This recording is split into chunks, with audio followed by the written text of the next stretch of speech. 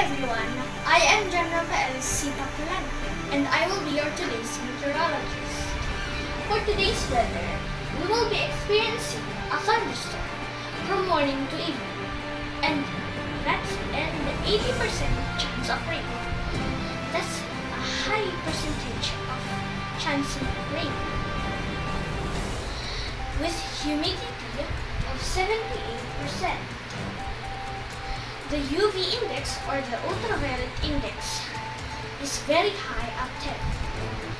The wind will blow at 28, uh, 2 to 8 kilometers per hour from the east.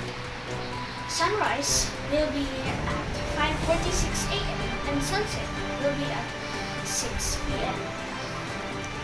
Again, we will be experiencing a thunderstorm. So be ready for This is John Rafael saying take care and stay safe and ride.